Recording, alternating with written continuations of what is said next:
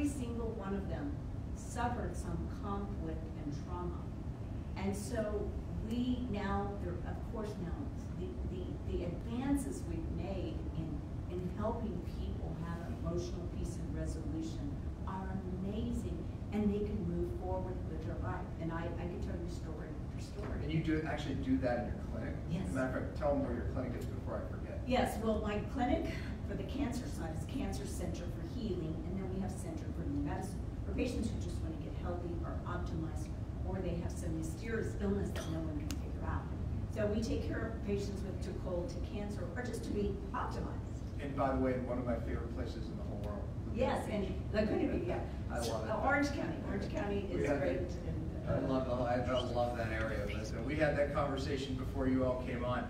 Okay, so, you know, do you think it's part of a perfect storm? Because I, I think when we look at, you know, there was always emotional conflicts, I mean, all the way back through history, right? That's right. And some emotions more, some traumas even more with wars and horrific things, but yet cancer is exploding. Is it a perfect storm? What's happening? Why is it exploding the way it is? Well, lots of different reasons, and we talked a lot about that. Uh, I spent five hours talking about that to doctors yesterday, and uh, we, we talked about emotion, and- and I think unfortunately, there's a lot more emotional turmoil because we have deterioration of the family. So the family unit is, is, is being lost, and um, so the stress that, because I have so many young people, I have twenty-year-olds, twenty-two-year-olds, twenty-three-year-olds, very young people who have a very serious form of cancer. And so I believe that, that, that, that connectedness, the, the disintegration of the family, I mean, I'm not the only person that talks about it, lots of people talk about it. I'm one of six kids, so back then, a long time ago, though, that we all hung out together all the Sure. time, and we hung out with nature all the time. Now, kids are isolated, they're on video machines or cell phones and all these other things. Now, we talk about the other causes of cancer. Our, our food uh, has, has dramatically changed. Uh, we have a lot of genetically modified food.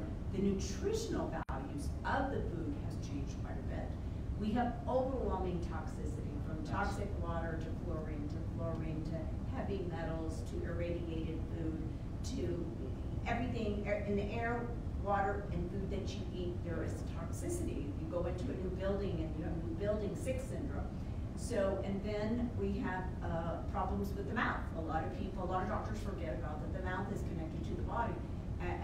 A- And, and we have now uh, so much research that shows that heart disease and cancer is related to infections or root canals in the mouth. It's one of the first places that I look uh, when I evaluate somebody who's mysteriously not getting well or sick, right here. We're going to be interviewing Dr. Tom Levy, so stay tuned for that in an upcoming show. You know, uh, toxins, traumas, and thoughts, you know, when you talk about the family unit, that's where when you have a good family unit, we're developing thoughts, positivity, that love like you talked about, and toxins, traumas, thoughts, when you put those three together, it's a perfect storm. Science shows that affects our DNA, that affects the proteins we make, that affects who we become and who we are. And that's what you're seeing today. Right. Well, I tell people, we now know that emotional DNA is inherited nine generations back. Absolutely, yeah. So, so, and, and, and, and, and I don't want people to think like, oh gosh, I'm not a good person, I'm bad, etc. It's not that. He has problems, I've had problems, I've been working on myself for, for years now, Yeah. because it takes years. I heard another doctor It does yesterday. take years, so does the cancer detox, by the way, emotion. Cancer, doc- cancer doctor talked yesterday, he says, I started four years ago looking at my emotional balance. He takes care of cancer patients for twenty-eight years. And I decided probably 15, 16 years ago to start detox. I call it purification, it's detox. It's like, oh, detox, every patient looks at you like, oh my God, what am I gonna do? So I say purification, they think you're an angel. And so, but, but I, I, but the emotional part, I really started probably, like really hard. I mean, I know I was forty when I started, but then I really, really delved in probably about seven years ago. But it's been a process.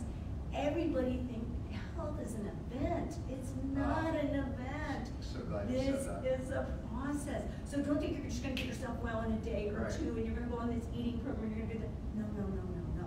And it's a way of life. And don't be hard on yourself. You're gonna eat a cookie, or you're gonna eat a piece of chocolate, or you're gonna eat something, and then you're gonna like, oh my God, you need to beat yourself up.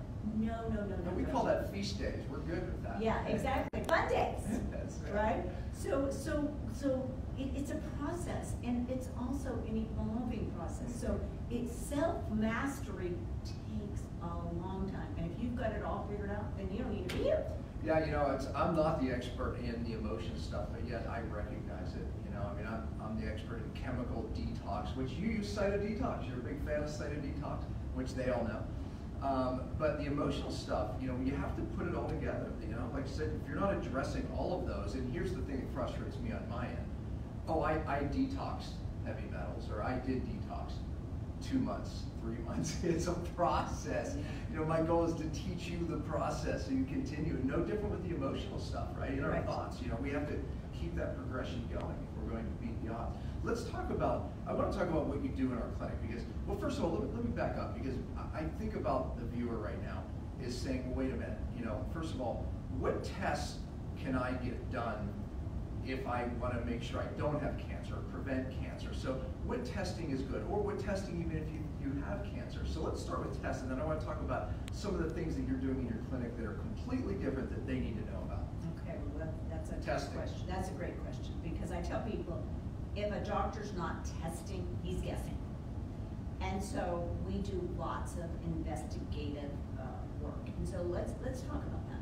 So a lot of my patients today, now, because cancer is in about one in two men and forty-one percent of females, I tell people it is a national emergency. Absolutely. We, prevention never sells, because people think, well, I It feel great. doesn't sell. It feel never sells. I- No one thinks I'm going to be the one. You would believe how many patients go, gosh, Dr. Connealy, I was running six miles a day, I live life, I did this, I did that, I feel great, and then all of a sudden, their life changed, one second changed their life. I don't want you to be that. I want you to have the peace and comfort of knowing, like, look, I've gone to a doctor, I know. But people don't realize cancer takes ten years to develop Absolutely. by it's seen, by- by the time it's seen by an ultrasound, an MRI, a CT scan, or a PET scan, okay? Oftentimes, it doesn't have symptoms. It's insidious disease. Do Not, even, not even fatigue. I mean, Right. people have to say because you can feel perfect and be developing cancer right now, only to come out five, ten years from now. Exactly. Yeah. And so even heart disease, because the top two killers are heart disease and cancer. So when I see a patient, I make sure you don't have those two problems. The third is probably doctors. So, so. That's not probably it, so- is it? So, well, no, because the- the doctor of today, they're really smart and brilliant, but they have to learn the new modern way of taking care of patients. And so I have gone back to school because what I learned in school, can you imagine, would you use a cell phone that came out thirty years ago? No, you, you're gonna use the cell phone that does a million different things. You things, mean right? like the ones that look like little bricks? Do you remember Yeah, those? no, boxes, Yeah, okay, I'm older than you, probably, I'm, it's a boxes, so, no, it was a huge box and, and, and sat. I remember the brick. I, that's the one I remember. It was like this fat, that high. Oh, no, no, mine was way bigger. Yeah, well, yeah. Anyway, okay. so- But- but they were strapped on walls. So, but I always use that analogy, like, would you use an old cell phone? I would, I don't use, I use a great little cell, new, you know, cell phone. So you would too, so why wouldn't you use the new modern way of cancer? And guess what? Medical knowledge is doubling about every nine months, okay? I can't even keep up, that's why I have an amazing team. You go to this conference, you go to this one, you go learn this, you, and then we collaborate together, because united, we, we can deliver. So if you come into my clinic, and a lot of patients come to me like, Dr. Connealy, my mom had cancer, my sister had, my brother, my, you know, all these people had cancer. I want to make sure I don't have cancer. So first of all, I do a, a, a- all the blood testing because let's face it, I need to make sure that everything's good, not just that you don't have cancer, but I want to make sure is your liver working, your kidney working, do you have high sugar, do you have good vitamin D levels, do you have inflammation, does your thyroid work, do all the other hormones work? Because hormones are the natural drugs. Everybody thinks hormones, oh my God, I'm going to get cancer. No, hormones are the natural drugs to your body. And so, are you toxic? Are you nutritionals? Or do you have the right nutritions? Do you have the right antioxidant? What does your gut look like? Do you have bacteria? Do you have fungus? Do you have parasite? What does your mouth look like? So I go through an exhaustive list, and obviously this is not accomplished in one visit. But if you want to be well, I need to address you from head to toe, not just your heart, not just, I'm, I zone in, I'm, I'm your quarterback for making sure that everything is working. So,